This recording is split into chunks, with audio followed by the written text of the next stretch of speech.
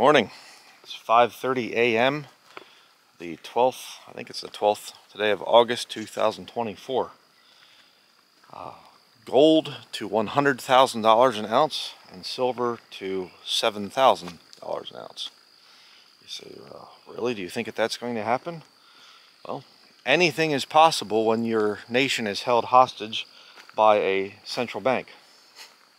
Um, the bankers are in control of this nation right now.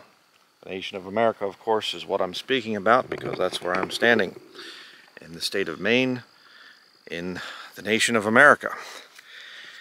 And um, I keep hearing all these different things. All these people have these videos. You'll see these things, and it'll be 60,000 an ounce, 40,000 an ounce, and people making predictions. And it's not just wild, random, whatever. Uh, it's actually backed up a lot of times by scientific things. The gold to silver ratio is way out of whack right now. Um, it's historically supposed to be about 15 to 1, 15 ounces of silver for one ounce of gold. Um, it's not anywhere near that right now. It's I don't even know what it is, 80 or so, 90 to, to 1. I forget the, the whole thing. There's the paper to silver, paper, paper to gold ratio that comes into this whole thing. The crashing of the dollar um, you know, they need to lower interest rates, which will cause more inflation, and it's all these different things. And the, the scenarios out there, you know, could it get to the point where silver's at 7,000 an ounce and gold is at 100,000 an ounce? Absolutely. All right. Now, I'm a preacher, if you don't know that. And uh, why do I talk about the thing of precious metals? Because I'm trying to make my uh, the, people, the viewers and things, I'm trying to make you all covetous? No, that's not why I'm doing this. Because you have to understand why the Bible says about gold and silver being used as money, uh, as a way to um, protect your wealth and everything else. Again, it's not about um, I'm ultra wealthy and therefore I will buy gold and silver because I am just have nothing else to do with my money. That's not the case you have to understand that uh, fiat currencies, um, like paper, any kind of paper currency um, out there, those types of currencies are something that can crash and, and that can go away at any time. And when you actually understand this situation, you'll realize that it's not really that gold is becoming more valuable, it's that the, dollar is actually losing value. It's so important to understand that. Um, when God made the earth, he made gold and silver to be uh, the currency, a medium of exchange, something that has real value to it. That's why when you get to heaven, if you're saved, very important to get that figured out. When you get to heaven, it's not um, you know the streets are paved with dollar bills or something or, or cryptocurrency. Uh, definitely not that. Um, the streets are paved with gold. And um, at the judgment seat of Christ uh, Jesus Christ hands out to those who are saved as a reward uh, according to the scriptures. He hands out gold silver and precious stones. Hmm then I think that God has has put it into our hearts and into our minds that precious metals, that's where it's at. We're supposed to have precious metals. We're supposed to look at that and say, hmm, I think this is good. And a, another reason that I believe in precious metals um, is because when you have your money completely in the bank, the bank can lend out that money, and they do lend out that money to whoever they want. And they can lend it out to a bar in your area or a strip club or people that hate God and whatever some wicked atheist comes in there and they want to uh, take out a loan to start an organization to attack Christians in the area, the bank will loan them your money. That's how it works. Um, but uh, right now, where we're at in this country is the Federal Reserve wants to continue their scam. Um, if you understand anything about uh, history, whenever you have a currency it will go through different life cycles and it will they'll print way too much of it and lend it out to a whole bunch of people and they'll get away from the thing of having it backed by gold. That's how they start out. Oh, we have, for every dollar that we give you, um, there's a dollar's worth of gold in the bank. Don't worry about it. Everything will be fine. Um, and then they start to get greedy and they say, well, we'll just print a few more dollars and we don't exactly have the gold backing for it, but that's okay, you know, because the customers feel secure, they feel safe, they trust the dollars that we print. So we'll just print some more here. Maybe a little bit more and a little bit more, and, and before long they've got huge amounts of dollars promised out there to people that oh it's all it's all backed up by gold, don't worry. And the reality of it is it's not. And uh, I forget, I think the gold to paper ratio right now is 127 uh, promised ounces of gold for every one ounce of actual gold. And silver is 403 promised ounces of silver for every one ounce of actual physical silver. So a lot of the people that get into the thing of investing in silver certificates or, you know, um, I want my retirement money to be put into silver or something like this, um, if you don't actually have the physical silver in your possession at your property, then you're being ripped off. I can pretty much tell you that unless you deal with uh, a company, I think SD Bullion actually will put it in a vault at their facility. Um, but it's, I mean, there's videos out there that they put out showing the actual physical metal that they have in their facility. And so it's not a matter of they're, they're just telling you that they have it and they actually don't. No, they actually have it there in their vault. But unless you have a situation like that, um, chances are you're being deceived, you're being lied to. Just the same thing as if you have money in the bank, your money is not actually in the bank. Okay? So that doesn't make sense. Oh, yes, it does. If you have $2,000 or something in the bank, there's no little box in the bank with $2,000 in cash. All right, you bring in cash or you bring in your, excuse me, paycheck or whatever. The bank takes that and they put it into their own pool of money and then they lend it out. They do it all the time. And of course, the biggest thing when you study the financial world, um, which is actually very important, you'll realize that if you start to study it as a Christian, when you study it, you will realize that the whole stock market thing and all this other stuff, it's gambling. That's what they do. These people gamble with other people's money. I mean, there are countless videos out there, scores of videos where people talk about this. Making, you know, getting wealthy with other people's money. That's thievery, that's stealing. And if you think God is going to bless something like that um, and give that person long life and good health and and great wisdom and, and save them and whatever else. Um, no, uh, back in the book of Genesis, when God kicks Adam and Eve out of the Garden of Eden, he says that by the sweat of your brow you're to make your living. You're to work with your hands and work hard. And Robert Kiyosaki, I guess we'd call that a poor dad. Somebody who's poor in their thinking. Um, I don't think that way. I don't agree with that. It's very ridiculous. I'll tell you a little story here um, my grandfather on my mother's side, uh, Bernard Fry was his name, and I remember he told a story of when he was a young man. He was born in the early 1900s, um, I guess in 19 the teens somewhere in there, and uh, I forget the exact year that he was born, but he when he got older as a when he got out of high school or whatever well, they, I guess he only went to eighth grade back in those days because the education was actually really good and eighth grade education back in the early 1900s was better than a, a lot of college education nowadays. Uh, they were very smart back then, but that's another issue. Uh, there's actually, I think, a website that shows you that an eighth grade exam or something and you can take it and a lot of college students can't even pass it. but um, that's a whole other story. But he went to a Bible college after he graduated or got out of school grade school. And um, and I guess he went for a year or something like that.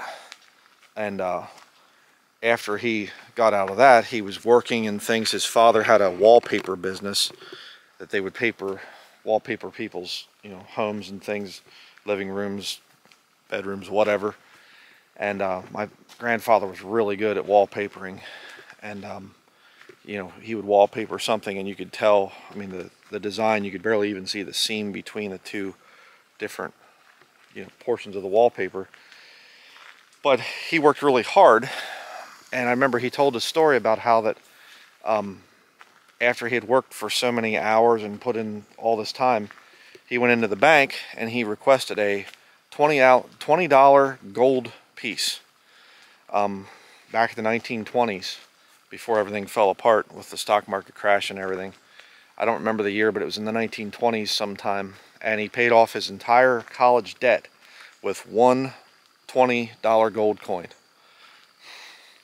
Pretty incredible. I mean, you say, well, oh, times really haven't changed much where things have gotten better, you know, and whatever. Uh, can you do that today? Can you go into a bank and say, I'd like to have a $20 gold piece and go and pay off your college debt with one coin? See what I'm saying? Um, our money, our wealth, I'll say it that way, is being robbed. It's being taken from us. And most people don't even realize it oh, I don't need to study that. You know, I'm just a, as a Christian, you don't need to study anything like that. You can just kind of um, go through life and trust the banking and whatever. That's not very smart. And right now there are laws in place where they can bail in. If the bank starts to have problems and you have a lot of your money in the bank, um, that thieving organization called the bank, they can take your money. Did you know that? Check it out. You'll see that I'm right. They can bail in and say, hey, we're having a problem, so now you become a stockholder. Congratulations. Your money is now our money, and you can't get it. And if you study the Great Depression, they actually were doing that to people. They actually were saying, you can't take your money out. You are forced to keep your money here in the bank, and there's anything you can do about it. And right now, the Fed, in order to continue their scam, as I was saying earlier, got a little bit sidetracked there, but uh, fiat currencies, they will come up, they get greedy, and then they crash, and then they have to start over again. And then, you know, I mean, there are a lot of ways that they could solve the problems here. We'll get back to that in a little bit. But the currency cycles have to, it's a boom and bust type of a thing. They have to eventually you know, get a new currency and print the new currency and because the old one's no good anymore and you just throw out those old bills because they've been hyperinflated. All right. But if they can make it digital, oh, the FedNow program, if they can bring in a digital currency, well, then the sky's the limit. You can do all kinds of stuff with a digital currency. And uh, that's what they want. And so that's why I'm saying uh, I don't get anywhere near Bitcoin or any other of these cryptocurrencies because it's just a it's a gambling scheme where you can get rich quick. And I don't believe in getting rich quick. I think that that's wrong. I don't think that you're working hard for your money and it's something that God will not bless. Um, and you start messing around with that type of stuff as a lost person, the Holy Spirit of God's not going to get anywhere near you. I will tell you that right now. You will not be convicted of sin because unless God has a lot of extra grace for you or people are praying for you or something. Um, but I've seen that thing over the years. You start to, you know, they that will be rich fall into temptation and a snare and into many foolish and hurtful lusts which drown men in destruction and perdition. 1 Timothy chapter 6 verse 9, the very next verse, for the love of money is the root of all evil. And it goes on. But 1 Timothy 6.10, um, you have to be real careful about this money stuff. It's, uh, and it's funny because like I've said in different videos, uh, not funny, but it's interesting that the mark of the beast prophecy in the future is a financial slash spiritual system. A merger of religion with finance. Huh. And if you take that mark of the beast in the future, you are damned to hell for all of eternity. Uh, well, hell and then the great white throne judgment and then the lake of fire, to be very pre precise about this. And there's no way to get out of that. So does God care about finances and things? Oh, yes, he does, very much. And you better be careful uh, what you're getting yourself into. It's not uh, building good character to um, get into this whole digital currency, cryptocurrency type of thing so that you can get rich quick. Um, but uh, what are we going, going to be looking at in the future? Well, I believe what we're going to be looking at, unless the Fed is stopped, unless some actions are made to stop them, um, which I'll talk about something interesting in that uh, line of thought. Um, the Federal Reserve is just going to hold the American people hostage with hyperinflation, and they're just going to continue to put the screws, you know, like the thumb screw torture thing. They turn the screws and the pain gets worse and worse until you finally submit. Well, they're going to do that kind of a thing with hyperinflation, is what I believe. They will continue to tighten uh, the screws on people, and people will be able to buy less and less and become more and more in debt. I mean, the average American household right now is just drowning in debt. Uh, you say, well, yeah, that's just reality. You can't possibly live debt free. We do. I'm not in any debt. By God's grace, we do not have any debt at all. Uh, this property that I'm walking on was paid for um, completely. And I didn't get debt to pay for it either. I paid for it in cash. Got a very good deal on the property. And we live very simple and we live very cheap. Very frugal in our living to avoid debt. And we have one income too, by the way. So uh, yes, there are ways to get out of debt. It requires some struggle and some sacrifice. Okay, um, you have to understand that. But I believe that the Federal Reserve is just going to continue to mess around with the the interest rate thing and whatever else, and the inflation will go up and it'll become more expensive to live and and oh, you know, we're about ready to go to war and and whatever. Well, that won't cost us anything. Everything will be fine with that. Yeah. But um, this whole thing with war, let me just say this very quickly. Again, what is the importance of war? Well, the bankers make most of their money from war cycles. When they can have a war, they can make lots of money. All the people dying, all the bullets being expended, and all the guns blown up, and the tanks and the airplanes and the the fuel and the pay for the soldiers and the uniforms and food and you know everything. It just is a huge, big opportunity for people to get into more debt. Um, the problem is that America can't wage a World War III multiple theater type of operation. And so it would have to be very fast and very destructive, um, you know, maybe nuclear. And that would be the only way that America could really win any kind of World War III against Russia um, or China uh, or Iran helping out Israel. Um, those aren't going to be Afghanistan type wars or Iraq type wars where we went over there and just you know, meddled around for, what, 20 years or something. Um, ridiculous, absolutely ridiculous. And anybody in the military, um, you know that the military um, is no longer what it once was here in America. And winning a multiple theater uh, war is not going to be happening anytime soon. And if we would go to war, which we're very close to it, um, I mean, we're already at war. Let's face it, we're spending billions of dollars, hundreds of billions of dollars in the war in Ukraine. But if we would go to war, it would, um, it would destroy this nation so quickly. But you say, why are we doing this thing in Ukraine? I don't understand. If we don't have the money, why do we go to Ukraine and, and you know, we're sending F-16s over there and now they just got those and probably send other stuff over. Why? Well, because the only way to stop BRICS is to stop Russia. That's why NATO is so intent on this war in Ukraine. They have to stop Russia at all costs. No matter what, Russia must be stopped. Um, and Russia's not going to be stopped because Russia is in Bible prophecy. There's a great power from the north and the east, the kings of the east. And there's a northern power among that kings of the east that is very powerful in the end times.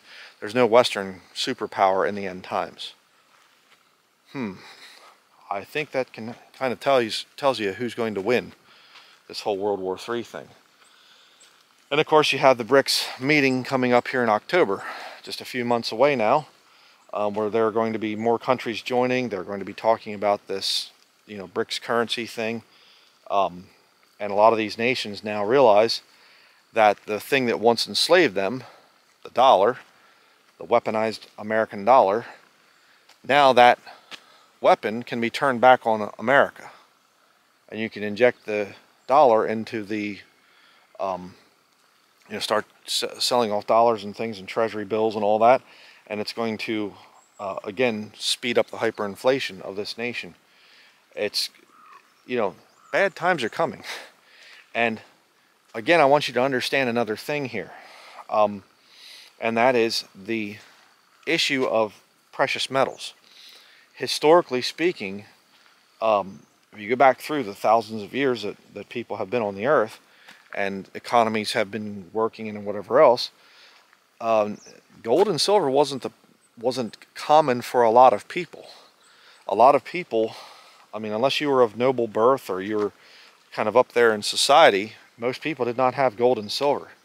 Uh, the peasant classes, they bartered, they traded. Hey, I'm a fisherman. I'll trade my fish for your beef. I'll trade my beef for your um, fruits or whatever else, your vegetables that you grow or things like that. Um, gold and silver has not been something that you can readily get and have available.